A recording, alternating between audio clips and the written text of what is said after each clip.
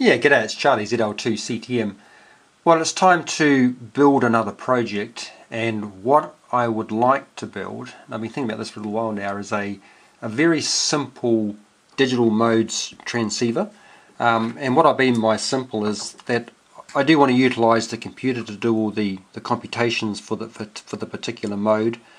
Um, I'm not looking to implement in the transceiver itself any kind of um, SDR or any other kind of sort of logic in that respect.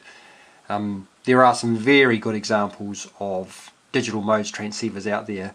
Uh, you know the AS, the ADX-SX, uh, the QDX are a couple of good examples there. Um, I'm not trying to emulate those. I'm just trying to um, build a, I don't want to say cheap and cheerful, but a, a simple little transceiver um, that I haven't done before, which should be quite interesting. Again, uh, nice and simple. That's the that's going to be the aim. Um, as I've said many times, the, the, whole idea of these videos is to try and encourage others to give homebrew a go. So um, that's my philosophy, and that's what I'm going to do for this particular one. So by way of, of functions and modes, um, I'm going to support both 40 and 20 meters. Um, and in terms of modes themselves, uh, WSPR, JS8Call and FT8 will be, will be the starters. Uh, in terms of the way the modes will work, I'm, I'm, thinking about just a simple push button switch that just cycles between um, each time you push this, the button, you know, 40 WSPR, 40 JS8, 40 FT8, 20 WSPR, 20 JS8 and 20 FT8 and, and, and around and around it goes. So a very simple user interface. Uh, in terms of actually displaying to the user what the mode is. Um, I think I'll just use a, a, small little OLED display. Got two options here, the 0.96. Uh, I think it's 64 by uh, 128 and this one's the half the resolution on the, uh, the height. Uh, I've used this one before and I thought it was a little bit noisy but I think in this particular application it'll be fine. Um, and I'll probably end up using this little one here. Again, slightly small and well, you know, arguably it's the same in real estate, but uh, you know, I don't need to display very much, so it's going to be one of these two, one of these two screens itself. Um, in terms of the setup, to keep this really simple, I'm going to have all the computation, like I said, done on the computer, and what I'm not going to do is feed the microphone and the audio through to the transceiver. What I'm going to use, um, well I'm going to try and use, are these really inexpensive uh, USB sound cards and actually have this inside the radio itself and just have the USB going between this and the computer. Um, hopefully these will work. They're you know, dirt cheap. This was 68 cents and this was $1.20. So very, very inexpensive. Hopefully they'll work. If not, then I'll, you know, I'll go up slightly, slightly uh, more expensive. But I'm thinking that um, they should, hopefully, fingers crossed, work. So like I say, have that sitting inside the radio, and I'll just solder directly to the pads here for both the, uh, the receive and the transmit. So that's what I'm thinking for that. So, uh, by way of, we sort of talk transmit for a start. So, in fact, I'll, I'll talk, I'll talk receive, then I'll get on to transmit. I was initially thinking that I would use or have this configured as a super heterodyne receiver and I was thinking about using a, an AM crystal filter. AM because it's 6 kilohertz wide which meant if I had positioned that um, audio pass band in the center I'd, um, I'd, definitely make sure that I wasn't going to be attenuating the edges um, of the, the audio pass band to maximize reception. I've gone away from that idea. I think what I'll do is I'll use what I did for uh, the WSPR beacon that I made some time ago. Um, this particular one was using a, an AD9850 as the um, frequency generation device there and I was using frequency shift keying to produce the output RF. In other words, I was having the microcontroller tell the 9850, this one here, uh, this is the frequency I want you to do at any one point in time and then that frequency was subtly changing uh, as required for the WSPR tones uh, in other words, it was frequency shift keying, it was direct. There was no translation from a, uh, a baseband signal um, through some kind of um, product um, modulator uh, through up to the RF. It was, it was done directly. So I'm going to do that again, and uh, rather than using an, 88, uh, an AD9850, I'm going to use uh, an SI5351. Um, and the reason there being, A, this is quite a bit cheaper The 9850 is around $15. This is $1.20. And uh, it has the three clock outputs, which will be useful. I can dedicate one for the transmit FSK, then I can uh, dedicate these two here for the quadrature uh, product detector or the Tayloe detector, which I'm thinking about using. I, I used one of those um, some years ago, and I'm sort of quite keen to sort of revisit that, especially with these sorts of devices here, by having the two outputs. Okay, I'll get to that shortly. Let's just pause there. Okay, so uh, receive will be, like I say, a, uh, a Tayloe detector. So if we have this sitting here, the Tayloe detector has RF coming in and it uh, converts that directly down to baseband, down to audio frequency. Uh, the, to drive that, because this is essentially a mux, requires uh, four times the radio frequency um, signal and quadrature. So the, the clocks, so one will be going high, the other one will be going low.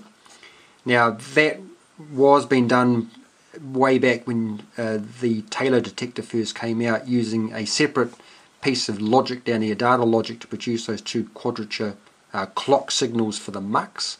Um, the beauty is of the SI5351 um, is that can be generated directly off the chip. So we can have this one uh, going positive and at the same time this one going negative. So um, that'll do away with one set of, of, of, of data logic in the receiver. So that's what I'm thinking of there. And uh, I've done that before, so that should work again. Uh, in terms of that audio frequency there, uh, I think, well, it'd be interesting to see if that will be at a high enough level to go directly into the, the microphone side of the USB sound card. Uh, if it's not, then some form of amplification before it does. And what I'm thinking about using is a uh, a low noise amplifier like the NE5534 which I've used before for uh, audio amplifiers. So I'll probably look to use um, that if needed. So we'll try going directly for a start see how we get on. If it doesn't work then we'll, we'll amplify it. Um, and that's pretty well it for receive. Um, thinking about what may be required for uh, a bandpass filter there either bandpass or utilizing a, uh, a low pass filter, the same low pass filter for, that's going to be used for the transmit side of the house. So still thinking about what's the best way for, for that. Um, so the jury is still out on that one. On the transmit side, we'll have, like I say, uh, the SI5351 utilizing one of these outputs to generate a, uh, a single frequency and that single frequency is then varying in frequency uh, in other words FSK frequency shift keying um, in sync with and being generated from what the computer is telling it to do um, for that particular mode. So what will happen is what I'm planning to do is have the earphone side or the speaker side the sound card is audio frequency coming out and the plan is to have that going into the Arduino into an analog port and then have code in here measuring that frequency and determining what that frequency is and then having that uh, then drive the SI5351 to, to generate directly the, the output frequency. So the translation from baseband to RF will essentially be done in software on the microprocessor. So that should be quite interesting. Um, I haven't done that before, so that should be um, yeah, it's not not certainly not impossible, and I think this will certainly be fast enough to do that. So that's what we do. And like I say, that'll drive the if the SI5351, one of those particular outputs there, to generate the uh, the frequency we need and have that varying uh, in sync with what's being commanded by the audio frequency from the computer. I hope that makes sense. It does in my mind.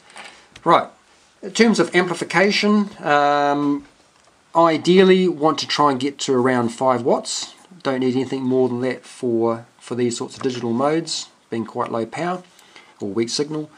Uh, in terms of an amp, I think I'm going to use what I used for, or something similar to what I used for this particular CW transmitter here. It was the same sort of arrangement. We had the SI5351 generating a clock signal, or more the point, an RF signal in line with the, the CW key. So that again was, I don't want to say it's frequency shift keying because it wasn't actually shifting in frequency, it was a single frequency that was then being fed through a nice efficient class E amplifier made up of, in this particular case, it was three BS170s. Um, I don't know if it's going to be the same configuration for the RF amp, but certainly looking to use uh, BS170s um, as the, uh, the, the, the, the, the device for providing that amplification. Probably three or four in parallel, I'd say.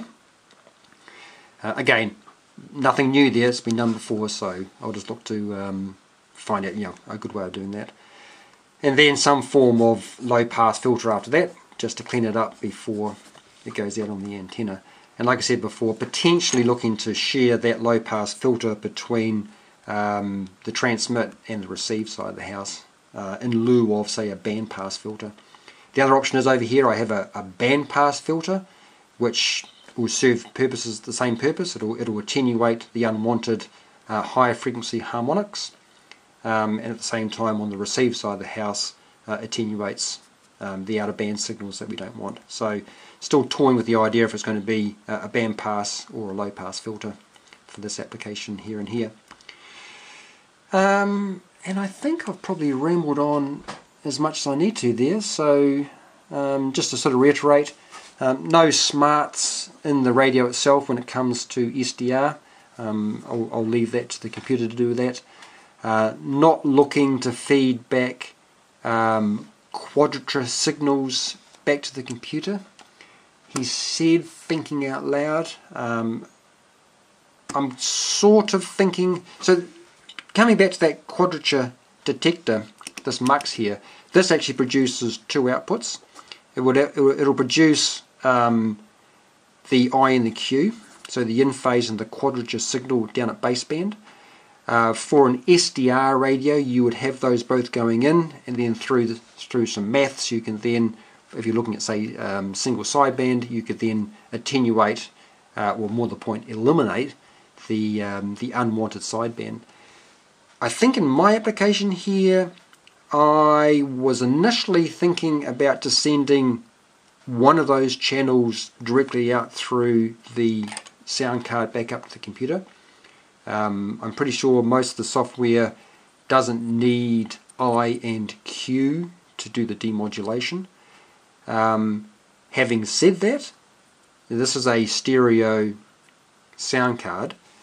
We've already got I and Q coming out, so for the sake of putting in a second um, op amp and then having that feeding through the, the other channel, say left and right, um, that may not be, you know, that, that, that, may be something to think about.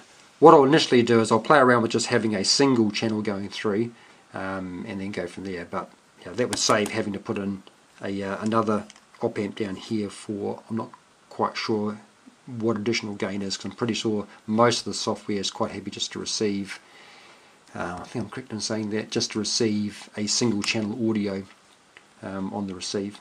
Might have double checked that one. Either way, it'd be simple enough to, simple enough to implement um, the two channels, the I and Q, if need, if need be. Uh, transmits a different side of the house, just a single channel coming through that's been detected um, by the microprocessor.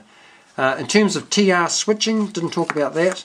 Um, I am not going to implement for simplicity uh, CAT control, so I'm not going to have sitting on that microcontroller um, any kind of um, code looking to decode uh, CAT commands coming from the software. Um, again, that's just to keep things nice and simple. Um, so therefore, I'll have no option but to go with Vox. So I, that'll have to be some kind of Vox detector that when audio is coming in, A, the microprocessor is determining that yes, there is actually a signal of interest coming in. Um, I could have a digital Vox through here, or I could pick on that analog, uh, have that going through some kind of detector to detect that there is actually audio on that, and then have that switch the Vox. So not quite sure what's going to be, oh, let's say analog Vox versus a digital Vox. Um, the digital one might be quite interesting. Uh, one could argue, uh, yes, I think I'm, yeah, certainly on, because this, this is transmit audio here from the computer. If the software is on receive, then theoretically there's no varying audio going out of the um, the, the, the, the, transmit side of the sound card. So therefore, we could have some kind of logic in here saying hmm, there's been no there's been no variation in frequency coming in, so therefore we must be uh, on receive. And then if it was to vary, then have some kind of digital vox coming out. What would be interesting in that particular case is how fast we can then switch to transmit uh, and not lose um, any of that of that data, so to speak. Uh, having said that, yeah, that would be interesting. Um, I'm just sort of thinking out loud here. This is how these videos work. I don't actually. There's no script. It's just me talking. So uh, that might be an interesting one to sort of explore. Um, clearly, there's going to be to be some kind of switching for the uh, the filters. Um, if I'm not going to Yes, it's going to, it's going to be interesting.